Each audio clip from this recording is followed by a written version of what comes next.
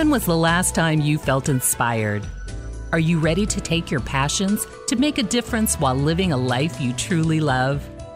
Your host, Katana Abbott, who is a life and legacy wealth coach and certified financial planner, searches the world to bring you experts in the field of personal and professional growth, wealth creation, and mind, body, and spirit. So grab a cup of coffee and take that quantum leap you've been waiting for. Smart Women Talk Radio, the link to live with purpose, passion, and prosperity.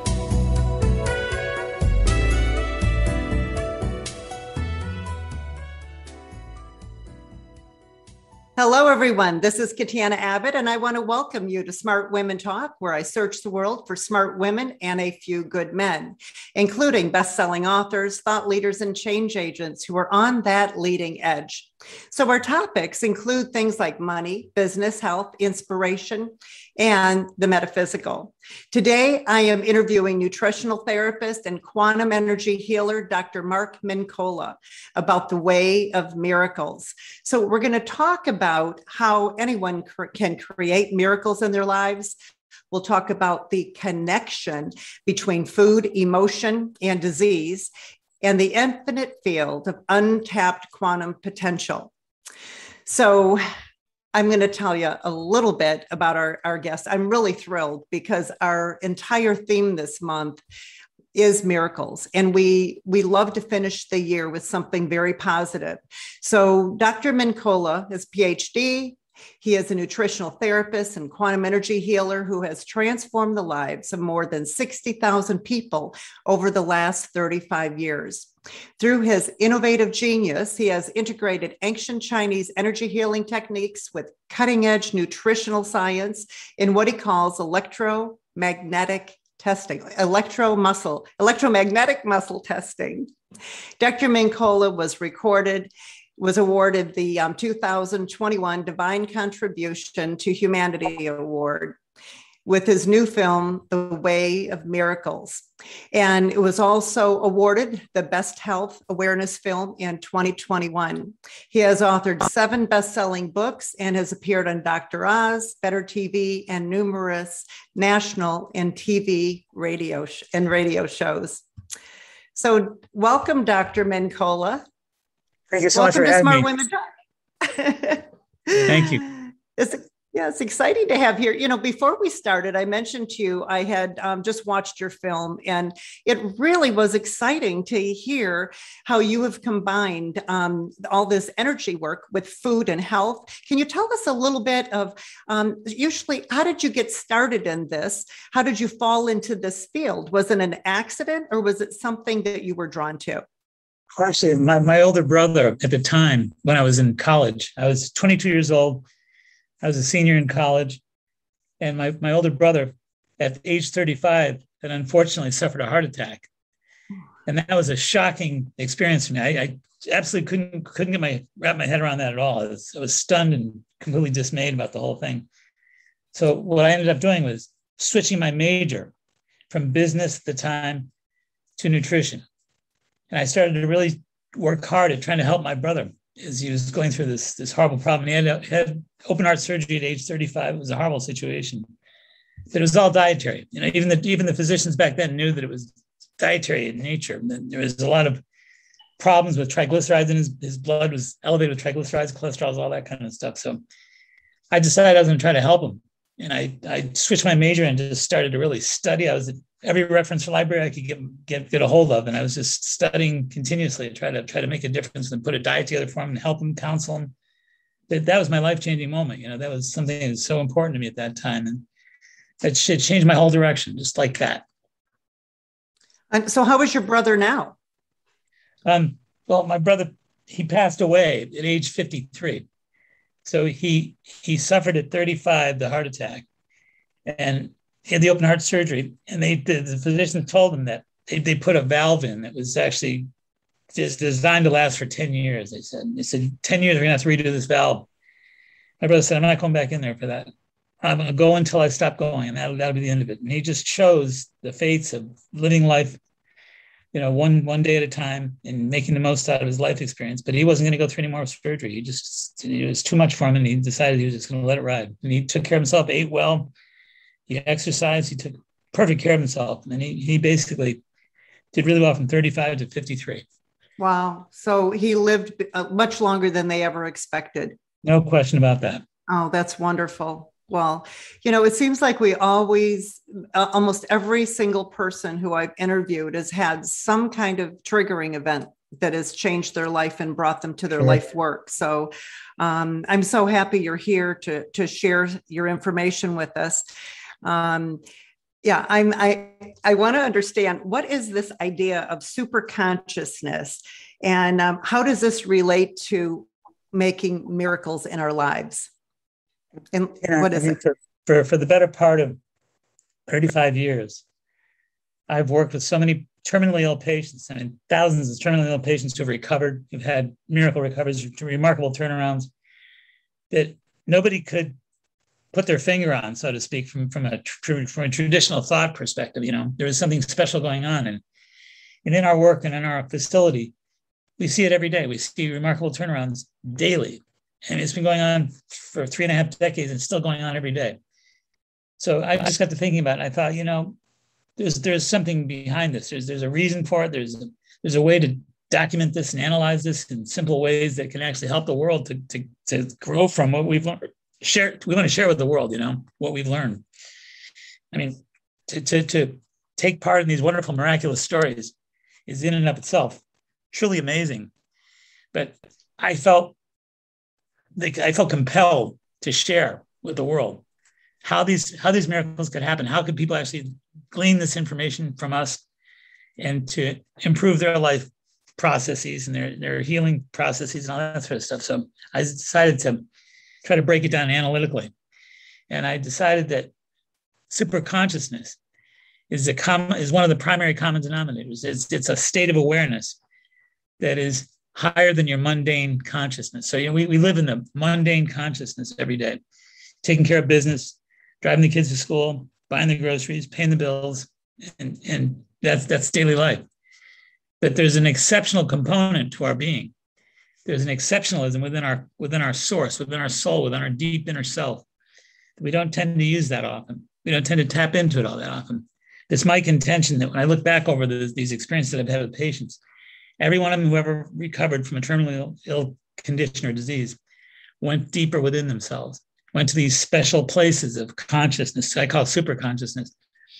They, they, they took the time to meditate very deeply, pray very deeply, uh, alter their, their perception of life by going deep within themselves and going to those special consciousness zones, those zones of awareness, where only in those zones can we produce miracles. You can't produce miracles in the mundane self. It's, it's, there's an identity crisis here. You know, in other words, we think of ourselves as pure mechanistic personalities, you know, egos, personalities that are material, that are mechanical, cells, tissues, organs, organisms. We're thinking in those terms. I say when you think deeper about yourself and you identify with yourself, when you, I, I, one of the sections of the book, the Way of Miracles book, I tell patients it's a be- beautiful thing to do this. Look in the mirror, go right to the nearest mirror. Look in the nearest mirror.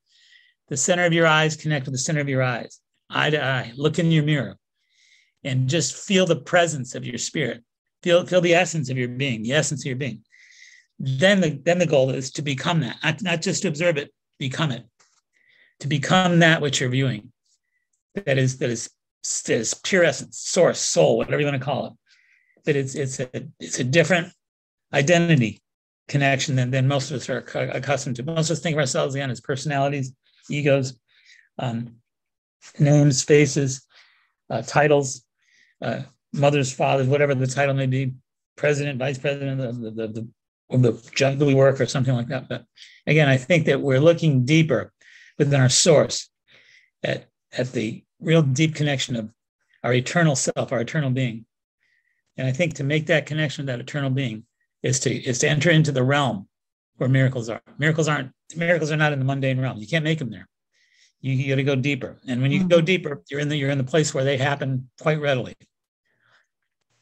Yeah, well, this morning you were you were talking about moving into that realm, and this morning um, I did a meditation, and I, I had um, music playing that had binaural beats and um, you know um, um, alpha waves and this gorgeous music and it was about 15 minutes of just the music.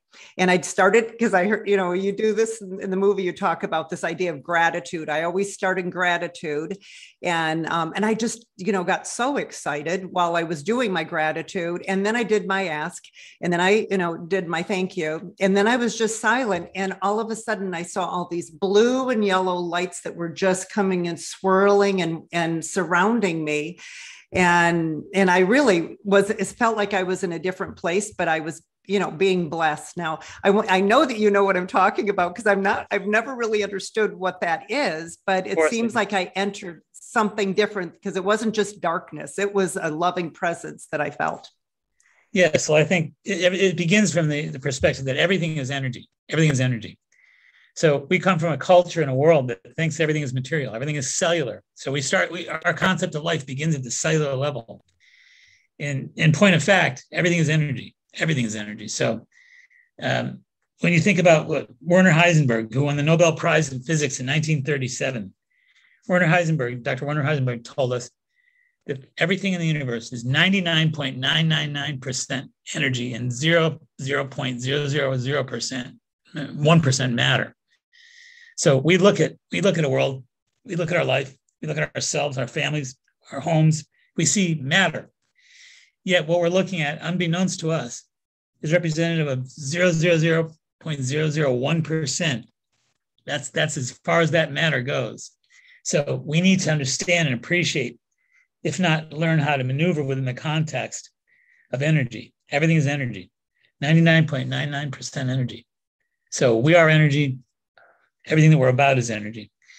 And I think that the objective is what you're talking about in, in your your your vision this morning, actually meditation, is representative of swirls of energy, remarkable energies that are surrounding you, that are within you.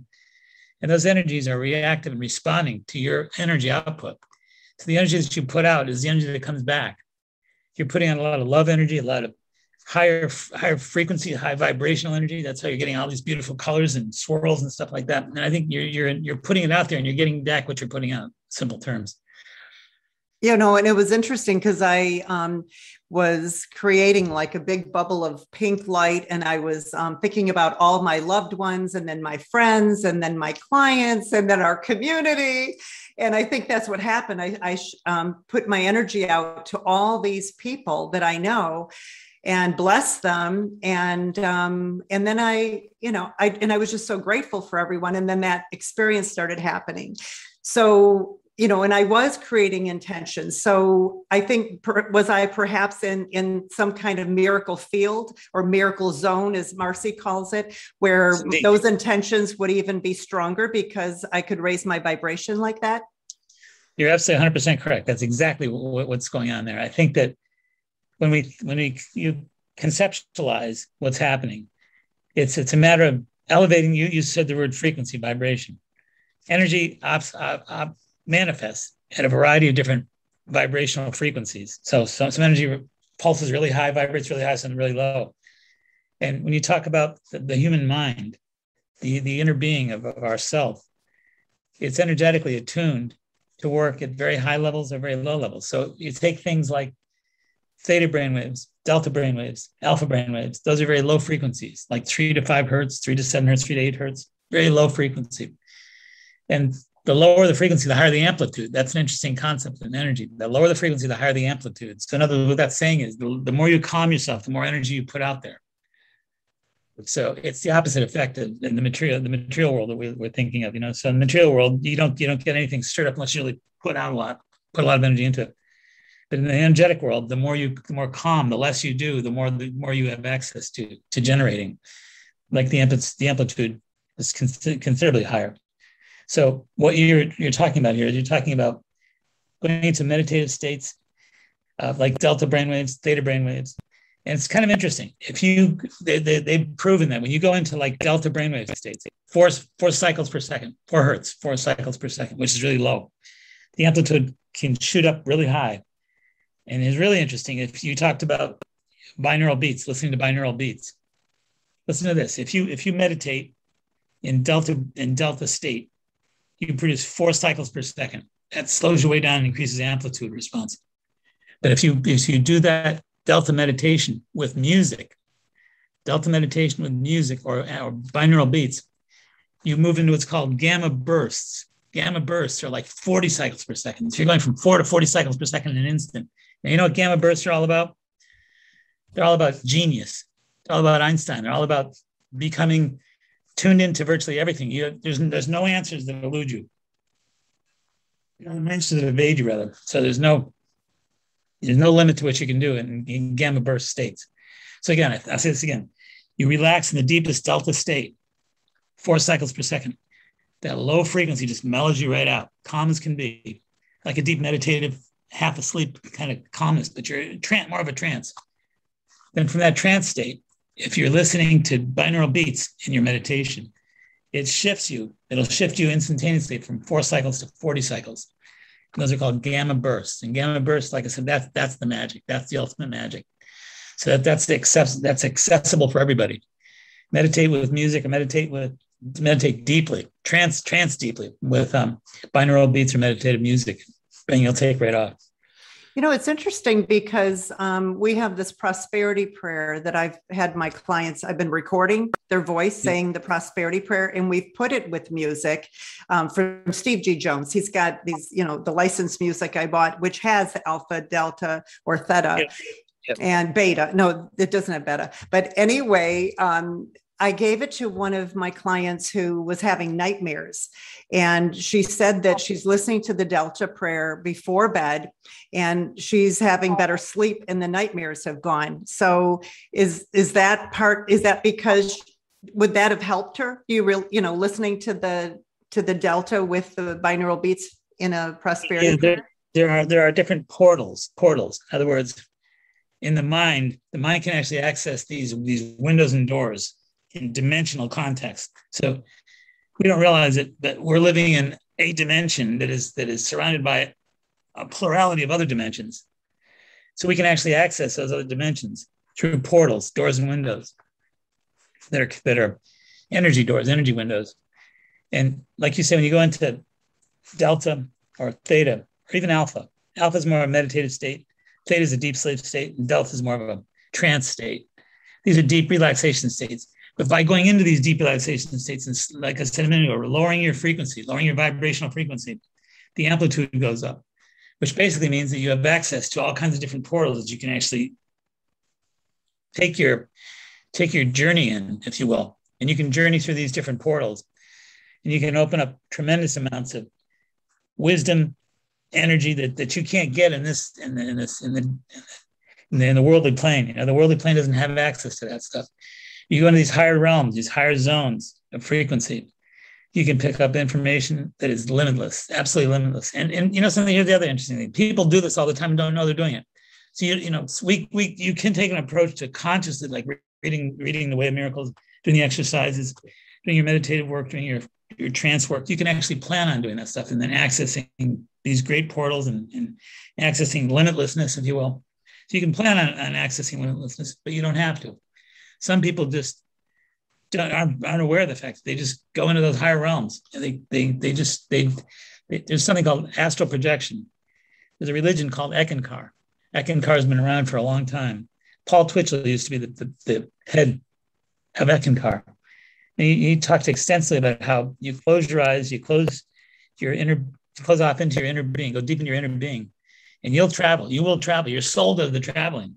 So where a lot of people just call it, ah, that's just imagination. I close my eyes and I, I'm imagining that I'm flying above the clouds. No, you're, you're not imagining it. According to people like Paul Twitchell, according to a lot of people who understand this stuff, you're traveling. You're really astrally traveling. You're move, you're moving outside your mind, outside your again. Think think of it. Your mind is is not local. Your body's local. Your mind is is non-local, so you can go anywhere you want in the universe. You know, Bill Buhlman, I think his name is, has a book called Adventures Beyond the Body that's right. Yeah. And I was reading that, and he mentioned he's he his first time he came out of his body, he saw a man with dark hair, um, trimmed beard, dark flashing eyes, and a purple robe in his room looking at him. And it freaked sure. him out, and he went back into his body. And another time he saw him in the garden and he talked to him, and I knew who it was, even though he didn't. It was Rebazar Tarzs because I've studied Eckankar yeah. for years.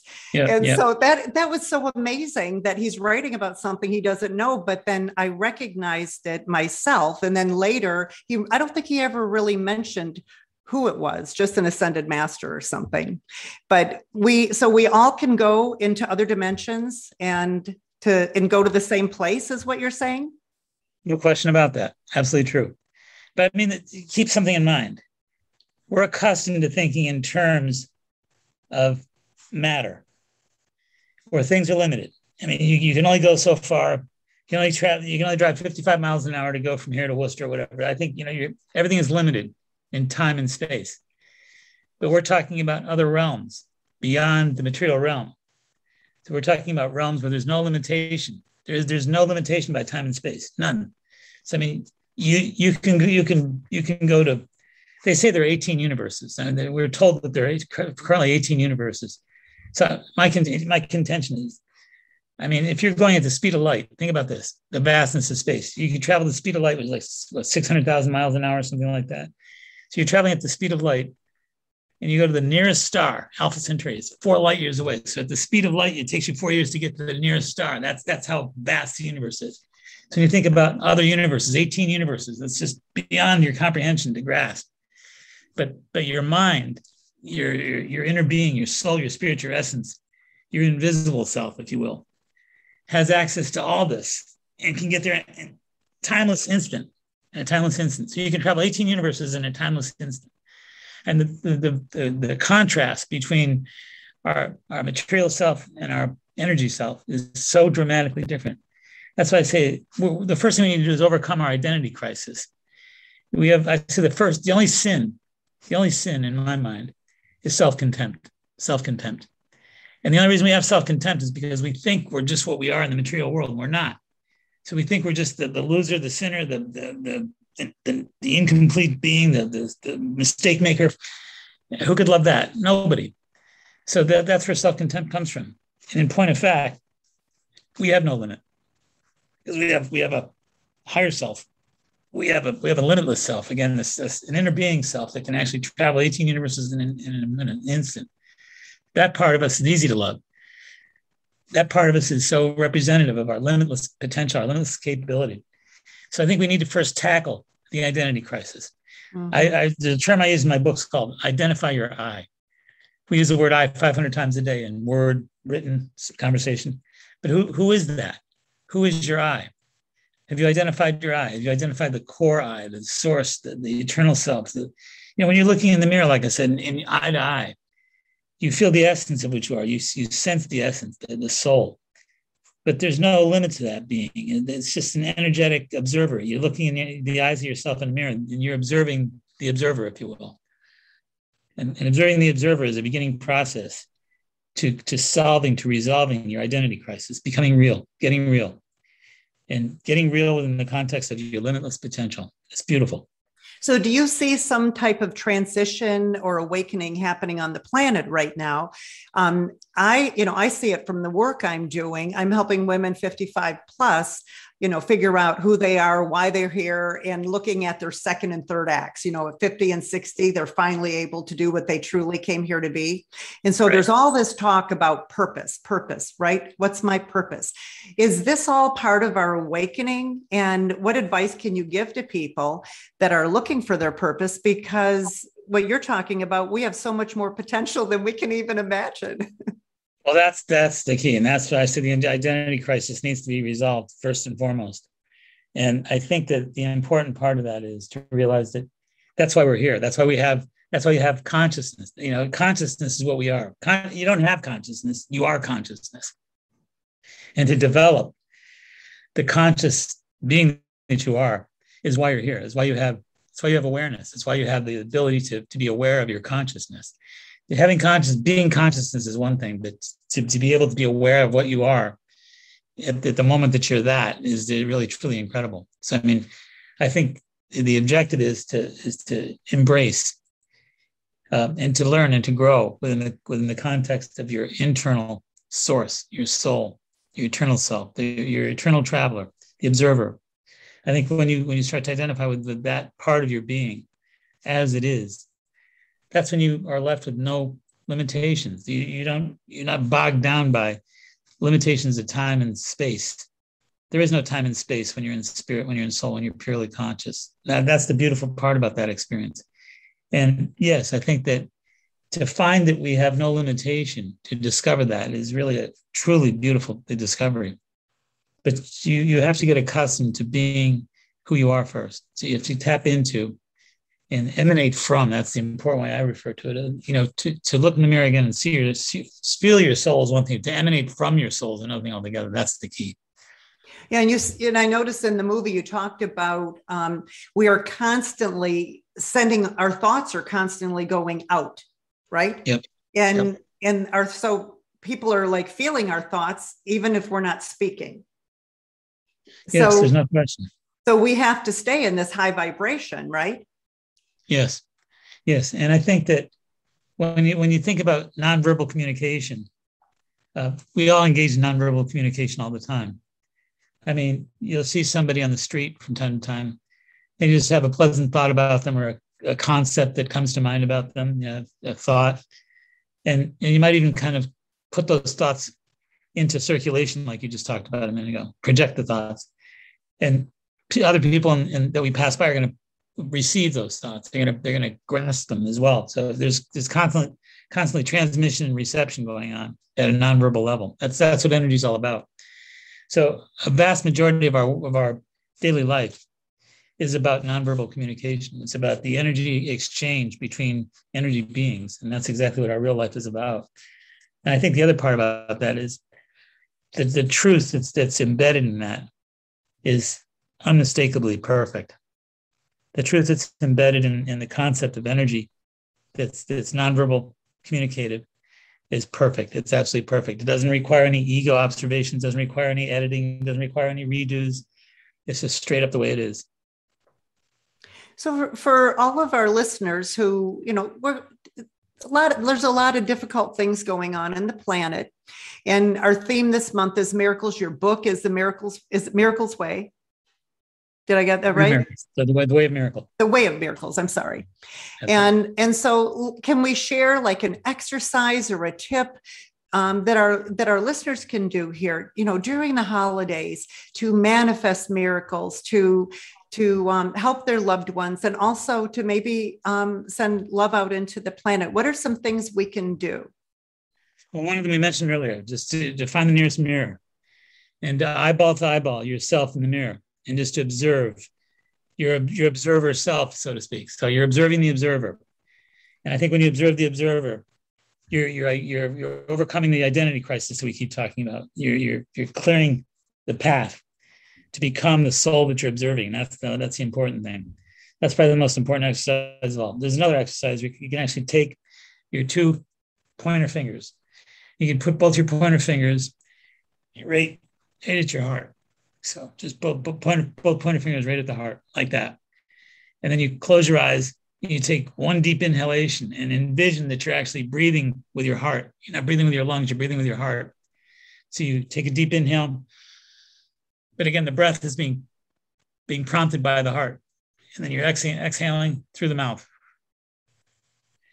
Three deep breaths. Second one, again, envision that your heart is doing your breathing. Picture your heart being like your lungs and then exhale through the mouth.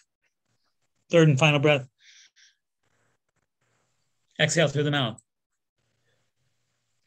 But the whole point of that is to envision in your mind, in your mind's eye, that your heart is doing the breathing. You're not you're not breathing through your lungs, you're breathing through your heart.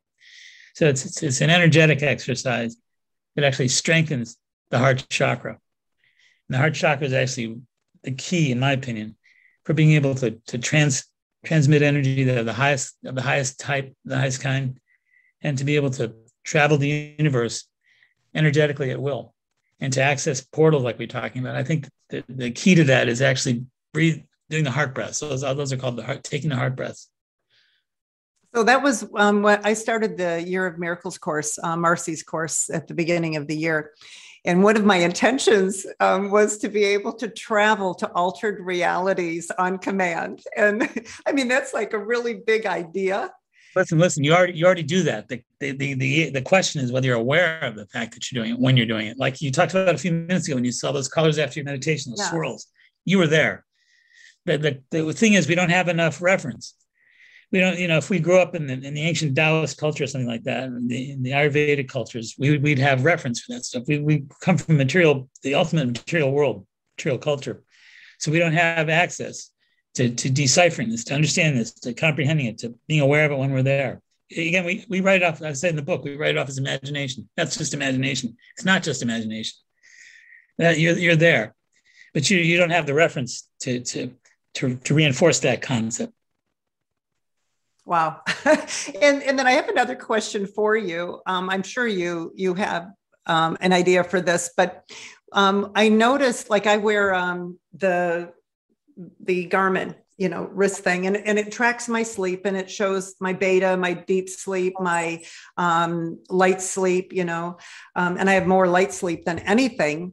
But I have a question. When when we dream and we're in REM, um, does our body somehow par- get paralyzed because um, our soul is actually leaving our body? And why is it sometimes we'll wake up in the middle of the night and we can't move? We're paralyzed.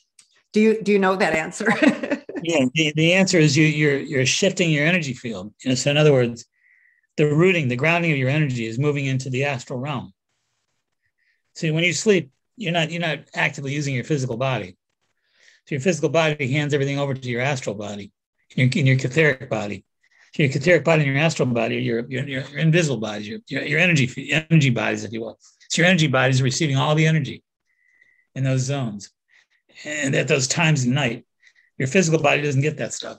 The minute you close your eyes and you start moving into, um, you move past beta brainwaves. You mentioned beta earlier. Beta is actually the, the, the stress state, the active state, the, the, the, the push state, the, the active, the most active stress state, beta. So when you drop, when you drop the beta brainwaves and you start moving into alpha, which is more relaxation, then you move in deeper into delta and then moving into theta, in theta, you're, you're, there's no energy being generated the physical cells at all per se. Physical cells are just regenerating, recharging. They're not activated. They're, they're not activated at all in the theta state. Theta state, you're recharging your etheric and your astral realms. Your your your non your non-seeing un, invisible bodies, your your your energy bodies, if you will, are getting loaded up at that time, and they're they're, they're that's, that's where all the energy goes. So it takes a while to make that adjustment when you first wake up in the morning to go back in the physical form from the astral, from the etheric. So when we're sleeping, we're actually healing all parts of us. That's correct.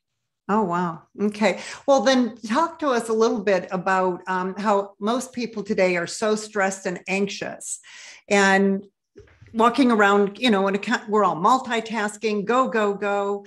Um, how is that affecting our, our bodies and in our emotions, living in a constant state of stress? Because I noticed in the movie, it seems like a lot of people that you were helping heal um, had chronic stress that um, may have been part of the disease, not just food. Because I would like you to talk about, you know, the chronic stress and the food, um, what we can do for ourselves, but mainly right now about stress because it has been stressful. Sure, sure, sure. Of course. Well, I mean, I think that, that to begin with, let's let's assert that disease begins with dis-ease. So when your spirit is ill at ease, that's the beginning process of breakdown. And I think that the important factor is to understand that your adrenal glands, your fight or flight organ, your I should say fight or, fight or flight glands, produce uh, 45 hormones, 45 different hormones that are mobilizing hormones that help you run out of a fiery building, help you fight for your life, help you run for your life. So that's designed, those, those 45 hormones are designed specifically for the purpose of fight or flight survival. They're not, you know, there's there's two aspects. There's survival, there's prosperity. So our bodies and our minds, they're in a prosperity mode or survival mode. You're in survival, you're talking about like 45 hormones that are just designed to gear us up to run faster, jump higher, um, and to fight stronger and all that. So I think that that's not a ha- that's not a happy project. That's that's a survival picture that we're trying to paint. That's exactly what it is. Purely survival, not pros- there's no prosperity in survival. And to be in an intensely sur- survival challenge state, as it were, is to drain every cell in your body. I mean, any, anybody's had any period of any intensive period of stress, they get wiped out. You get tired, you get exhausted, you get drained, you get depleted. And ironically, you think you sleep really well, but you don't. you actually sleep restlessly because your your mind and your body is still active. They're still putting out fires. They're still anticipating running for your life, competing, uh, performing, et cetera, et cetera. So this this is a, there's, there's stress is all about competing and performing. There's 45 hormones that activate that gear us up. And I always say that there's two nervous systems: efficiency and emergency. Efficiency and emergency. So efficiency is when you're in a relaxed state, meditate, you do tai chi, yoga, whatever. Calm your body, calm your mind. You take that test, you're going to do so well because you're, you're calm, you're collected, your, your resources are accessible to you. But if you're in a if you're in a stressful state, forget about it. So there's efficiency and emergency. If you're in an emergency state, you, you don't produce efficiency. You're in a state of survival, like I said earlier. So stress is all about survival and emergency. And you know, research indicates a lot of the, the anthropological researchers uh, indicate that our bodies, the human body is designed to be in a state of stress 15% of its lifetime. 15%. Now, do you know anybody only stressed 15%? I don't. I mean, I mean, it just doesn't doesn't work that way anymore. So we're we're overshooting the boundaries there. You know, we're we're tapping ourselves, draining ourselves through stress far greater than we're, than we're, than we're designed to contend with. So, what are what's the solution for for going back to being stressed out only 15% of the time i mean can is there something we can do to reduce the stress i mean because a lot of people don't have it well they think they don't have a choice but do you have some suggestions some tips for us how to reduce stress and live in in a miracle field? Yeah it goes back to what we said earlier. I mean i think that if you take the time to uh, re-identify yourself for a start that's the beginning point re-identification of self. You are not what you think you are. You're not limited. You're not restricted. You're not um, you're not victimized by your by your stress chemistry etc you know you you you can choose to be victimized. You can choose to be limited. You can choose to be stuck with this problematic aspect of life called stress or you can choose to be liberated. So i think it depends on what you choose to begin with. I'm going to choose myself that is not yeah, i always say the, the key to that process is conscious um, conscious um, proactive thought process, to be consciously proactive, not to be unconsciously reactive. That's the key. Think about think about the number of times in your life you've been unconsciously reactive, unconsciously reactive. Mm-hmm. Emotional stuff, you know, somebody bullying you or giving you a hard time, you, you react, react, react, react. Consciously proactive, not unconsciously reactive. That's the key. So to dedicate yourself to being consciously proactive is to create this this this state of relaxation at a deep level because of the because of the perfection that it renders, because of the limitlessness that it offers, because of the truth of self that it represents. So it's reprogramming, it's reformatting. And I think the way you re- reformat that beyond the, the identification process is to exercise it, to, to, to do your trance exercises routinely, to do your meditations routinely, to, to do your meditations with music, do your meditations with binaural beats. So you move into gamma bursts. So, I mean, those are the ways that the book talks about. There, there's wonderful ways you can work with your mind and your spirit at elevating your game of life. Yeah, HoloSync is one of those companies, the very first one I heard of. Yes, that's right. The HoloSync technology. Well, let's yeah. talk a little bit. Um, you know, everyone's been eating, you know, Thanksgiving turkey and parties and, you know, lots of drinking probably at these parties. Um, what can, because I noticed um, in the movie while I was watching, you help these people transform their health through food. I'd love for you to talk about food right now um, and what role that plays in healing. And, you know, how important is it to watch what you put in your mouth because I was kind of surprised uh, with some of the recommendation of things that we think are healthy. And a, a lot of times you had to take those things out of the diet for people and then they healed. Yeah. First of all, food is medicine to me. Number one, food is the first medicine. Long before there were there were any prescriptive drugs or anything like that, people were working on food and supplementation with herbs and things like that. So I think number one, food is medicine. Number two, um, we need to realize that everything is energy, like we said. You're made up of energy. You're comprised of pure energy. Your whole being is energetically based. No different with food. The foods that you choose to eat the beverages you choose to drink are all energy based too. So we can look at food nutrition at a, at a biochemical level, at a material level, or you can look at an energetic level. I look at it at an energetic level. So one of the things we do is we actually do a lot of muscle testing. I developed a system of muscle testing. Patients raise up their arms, we check their strength. It's, it's not a it's not a it's not a fight. It's not a strength game. It's just a it's just a, a simple dowsing process. You take different foods, wheat, dairy, tomatoes, uh, green beans, whatever, and you, you check the resistance for them. And then I then I believe we need to pulse them, not just check what I call pass fail. Like did the green beans pass or do they fail? If you can actually pulse them, how how good are the green beans? The green beans pass. Let's check one to ten. One, two, three, four, five, six. Pretty strong. Six out of ten is pretty strong. So we we do a numerical evaluation by pulsing the energy field.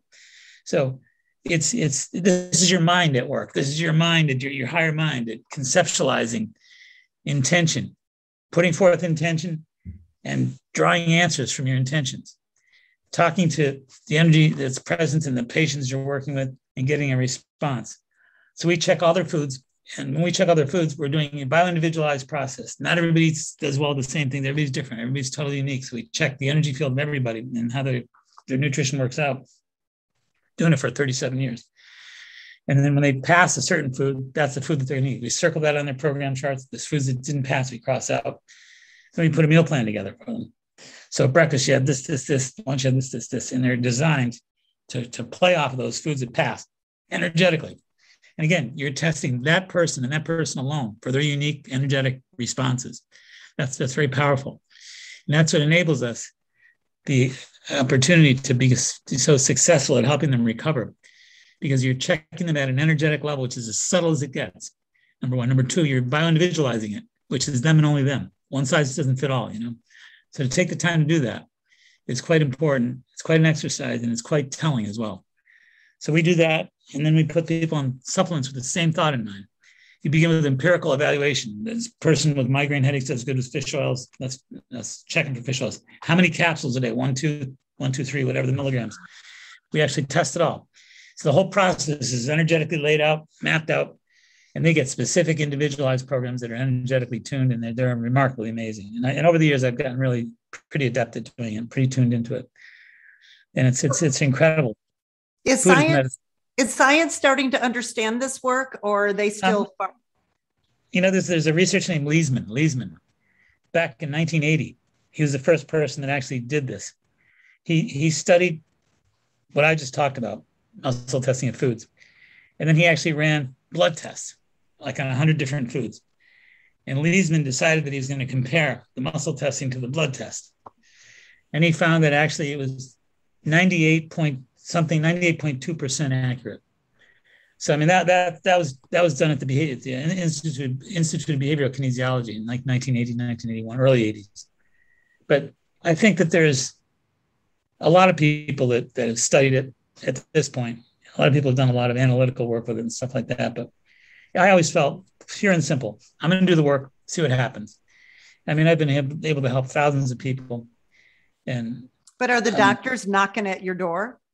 The scientists um, and doctors saying, "What the heck is going on here?" You know what? I got news for you. There's a lot of doctors and scientists in the greater Boston area. We got a lot of incredible hospitals, Children's Hospital, Mass General Hospital, Dana Farber, all that stuff. They send me people. They don't have, they, they I've, years ago, I had a physician come to see me. He booked an appointment like at nine o'clock at night. He said, a couple quick things. Don't ever call me at work. Don't explain what you're doing. Just do it. yeah, I know a couple people that do um, the testing with. One guy has a machine from from Germany that was like from like the 1940s or something mm, yeah, with probes yeah. that he hooks up and then he, he's doing the muscle testing but he's doing it with these little vials. So yeah. i know there are there are people that are are doing this kind of work and it's too bad we we can't combine the allopathic and and the holistic here in the united states. I think i think it's happening more. I think that it's beginning to happen. I mean I, have a, I know a lot of physicians actually that, that do the work. I had a couple of them study with me briefly over the years. Yeah. But there's there's there's it's, it's starting to happen a little bit more. So if people want to learn more about your book about your film. And I have to say, the film is interesting because you had people like Deepak Chopra and um, Bruce Lipton and some, I mean, some really, really interesting people um, in your film. Can you tell us about how we can learn more about your film and watch it and and and your book and, just learn about you? Sure. I mean, for starters, you, you can you can go to um, thewayofmiracles.com thewayofmiracles.com and you can access the film you can watch the film on that that access thewayofmiracles.com the other thing you can do is go to my my website markmincolla at gmail.com mark mincolla m-i-n-c-o-l-l-a 12 l-l-a at gmail.com um, those are probably the quickest way to get in, to get into the process also the book is available the, way of miracles book is available at, at beyond words publishing or at amazon.com so pretty easy to tap in. But um, the book and the film are slightly different. You know, we, we made it a point not to make the, the book and the film identical. So we have different different case studies in the book and the film. And I st- the the book begins actually with with a miracle that I went through in the process. So we start with my miracle in the in the book, which is pretty powerful because mm-hmm. I, I, went through a difficult time. Time, you know, here I was pr- producing a, a miracle making book and film about patients who experienced remarkable turnarounds, miracle turnarounds. And I was bit by a Lyme tick, and I actually had Lyme disease, and I was paralyzed for three weeks. And I was told by physicians that I wouldn't walk again. I'd never walk again. So I've completely recovered from that. But that was my miracle. So we taught, we start off the, the book with my miracle. And it's in the film too, but it didn't begin in the film, begins in the book. So do you have groups that are joining together now to practice some of these things from your book? Some of the yeah, exercises? We're, we're, yeah, we're starting to put some things together for um for further education, you know, to, to help other allied professionals and people like that to tap in and to actually we've had a lot of requests. I, I talked to Christine, the producer, last week. She said they're getting deluges of people that want to know the system and want to study the system. And so we're, we're trying to work, we're developing the academic component of it as we go along. Oh, that's pretty exciting. So, do you have any final thoughts before we wrap? Because we're at the top of the hour, and um, I we've covered a lot, you know. But um, is there anything else you want to make sure we cover? Um, I think that this is the most important message that I like to emphasize. This book and this film, The Way of Miracles, are really designed to awaken people to themselves, to awaken the public to the special soul that they are to the to the to the power that they have, to the limitless power that they have, to the limitless capability that they are that they have access to. They just have to tap in to the to the the, the core self, to tap into the source. The power of your source needs to be discovered by your awareness, by your consciousness. When your consciousness taps into the, the power of your source, your life is going to change radically and miracles will be available to you um, at, at your whim. No question about it. So we really can create miracles and live in no question about it. We do it every day and we've been doing it for 37 years. I'm just sharing in the in the reality and the process of it. And that's that's that's what the book and the film are about. That's wonderful. Well, it'll make a great holiday gift, great holiday viewing. so I thank you so much for being here with us, Dr. Mincolla. Such a pleasure. I appreciate you inviting me. Thank you so much. It's been very rich. Thank you. Thank you. Thank you. And everyone, if you want to join us, just go to joinsmartwomen.com. You'll get on our mailing list. You'll know who our guests are, and you'll be able to access the Smart Women Academy with all the different free courses that are there for you. So until our next show, go out and live with more purpose, passion, and prosperity.